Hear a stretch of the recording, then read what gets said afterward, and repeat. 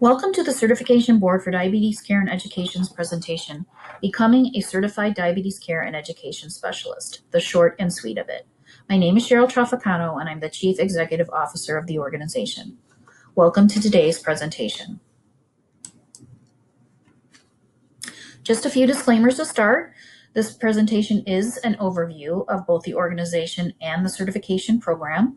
You'll want to be sure to refer to the current examination handbook or our website for any clarifications on eligibility requirements or the examination application and administration process. The organization and certification program have undergone name changes in 2020. The organization was known as the National Certification Board for Diabetes Educators and the certification was known as the Certified Diabetes Educator or CDE credential. We're now known as the Certification Board for Diabetes Care and Education, and the certification is called Certified Diabetes Care and Education Specialist or CDCES.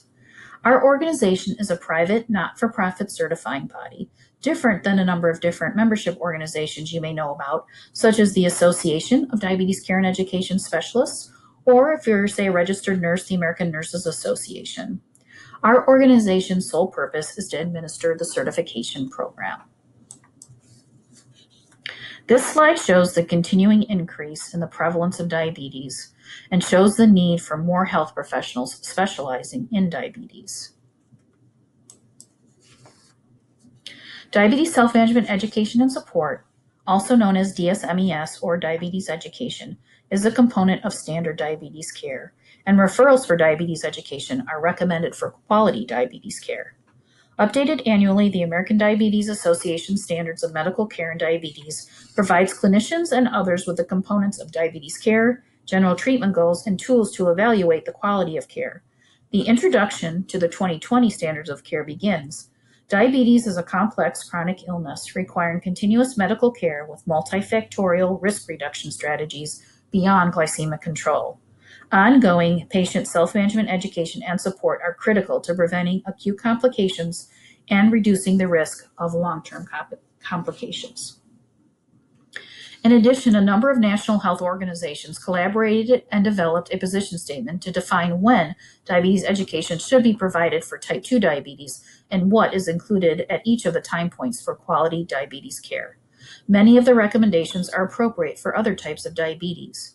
The Joint Position Statement, recently updated in 2020, notes the four critical times as at diagnosis, during the annual assessment, when new complicating factors occur, and when transitions occur. A CDCES serves as the mentor, confidant, cheerleader, and coach for the person living with diabetes. They are valued and respected members of the healthcare team and make a difference in the lives of people with diabetes and their communities. Why do individuals choose to become certified? It demonstrates consumers that they hold knowledge needed for quality care and education.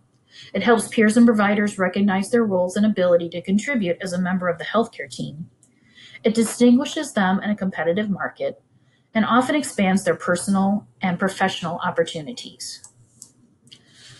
Individuals who are certified are confident and fulfilled. 95% believe the certification enhances their credibility. 97% said certification provides personal and professional growth and accomplishment, and 92% said certification enhances their confidence. The certification is a multidisciplinary certification and many different health professions, uh, professionals license and registrations can qualify. Currently, with just under 20,000 active certificates, we have 48% who are registered nurses, 42% who are registered dietitian nutritionists, 7% who are pharmacists, and a number of other qualifying licenses and registrations make up the balance of the 3%.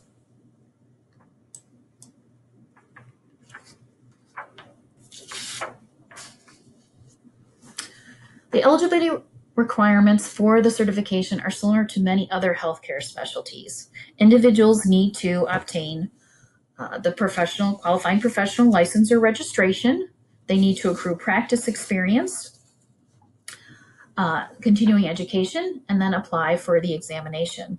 For our certification program, the individual needs two years of general practice experience, 1,000 hours within four years providing diabetes education to people with diabetes, with at least 400 of those hours in the last 12 months.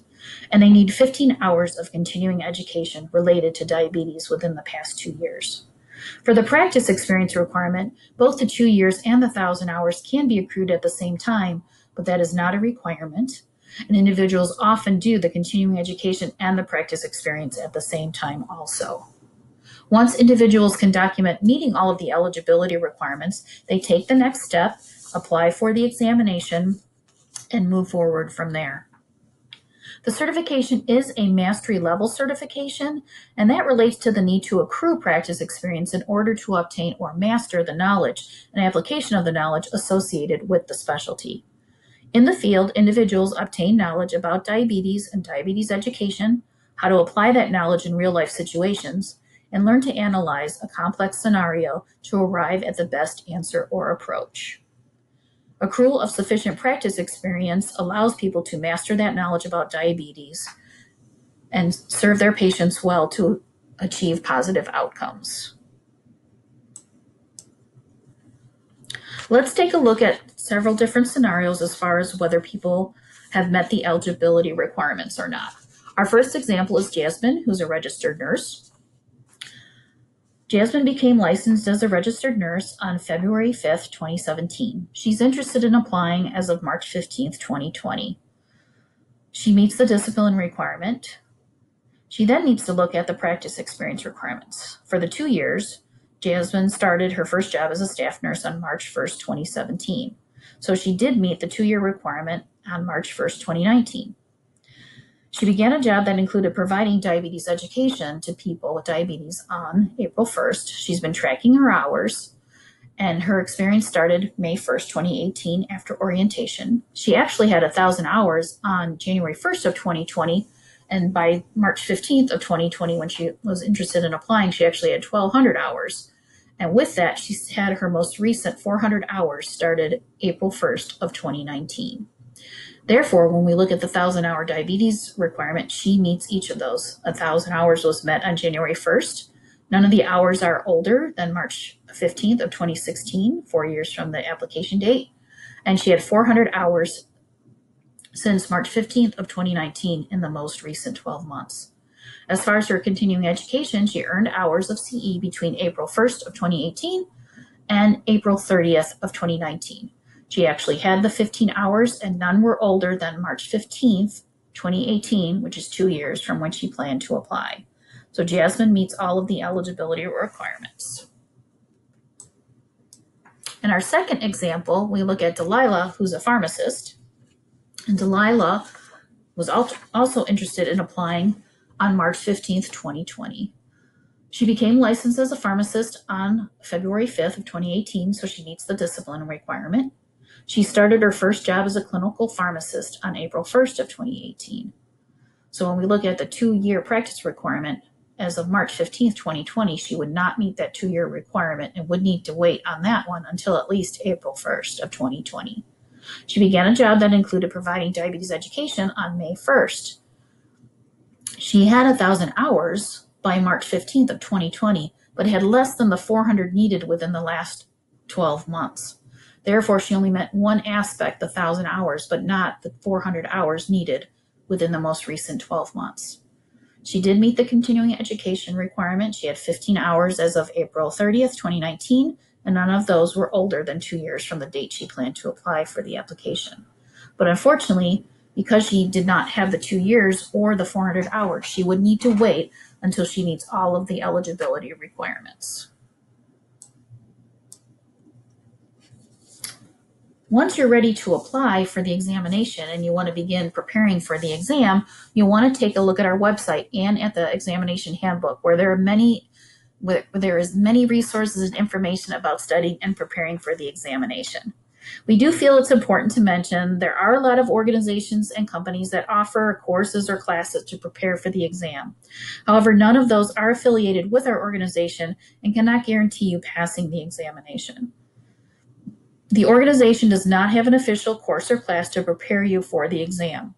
Instead, again, you'll want to go to the website and the handbook and take a look at different things, including the examination content outline, the available references, and other information about studying and preparing for the examination. You can reach us at our website, cbdce.org, email info at cbdce.org our phone is 847 228 9795. We do have a dedicated team that will answer all of your questions and support you in your efforts to becoming certified. So please reach out to us if you have any questions. And last, we'll leave you with just several testimonials from our current, currently certified individuals about why they became certified. From Rebecca Morrison, she says, it is crucial to have a CDCES as a team member in the hospital as well as outpatient setting. Not only does the CDCES educate, they also encourage and collaborate on how to manage and improve care. CDCESs are a vital part of the diabetes management team and have the time to spend with patients that physicians do not always have to help achieve the best outcomes. Julia Stading says, every CDCES that I have met at local and national meetings are so excited to share their ideas. It is like one big family who really cares about treating people with diabetes and helping each other to do better in our careers. How can someone not be excited to join such a group? And lastly, Deborah D'Angelo says, the most rewarding part of being a CDCES is helping people with diabetes overcome barriers and improve their health. My decision to become certified was the best career move I have taken as a registered dietitian. Thank you for listening today, and please do reach out to us if you have any questions. Thank you.